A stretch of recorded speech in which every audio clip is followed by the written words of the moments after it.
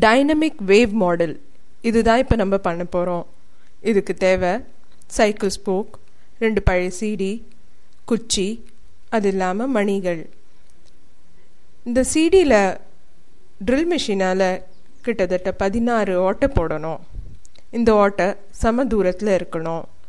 இந்த ஓட்டை உள்ள இந்த மரக்குச்சியெல்லாம் நுழைக்கணும். இது மாதிரி நுழைச்ச பிறகு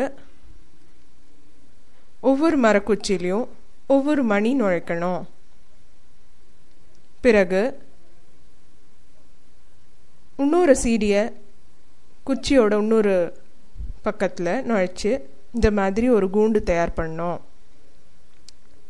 இது மாதிரி ரெண்டு மூடி எடுத்து நடுவில் ஓட்டை போட்டு அதை இந்த சீடியில் ஒட்டணும். இது மாதிரி இந்த மூடியை ரெண்டு பக்கமும் ஒட்டணும். அதுக்கு ஃபெவிபான் தடவி நம்ம ஒட்ட போகிறோம் பிறகு ஒரு சைக்கிள் ஸ்போக் எடுத்து இந்த மூடியில் இருக்கிற ஓட்டை உள்ளேருந்து நுழைச்சி அடுத்த மூட்டியில் இருக்கிற ஓட்டையிலேருந்து வெளியில் எடுத்து ரெண்டு பக்கமும் மணி போடணும்.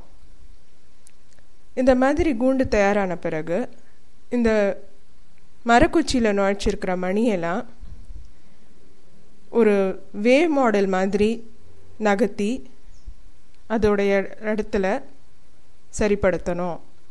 இப்போ இதை மாதிரி சுத்தச்சு ஒரு பாம்பு நெளியிறாப்பில் இருக்குது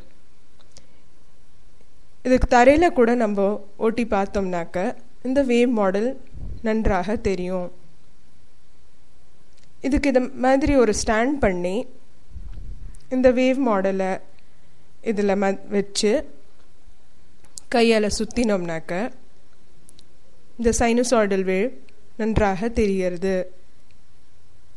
வெவ்வேறு வர்ணம் உள்ள மணி நுழைச்சு ரெண்டு பக்கமும் சரிப்படுத்தினோம்னாக்க சுத்தச்சே டிஎன்ஏ மாடல் ஆட்டம் தெரியறது ஒரு அருமையான மாடல் இது.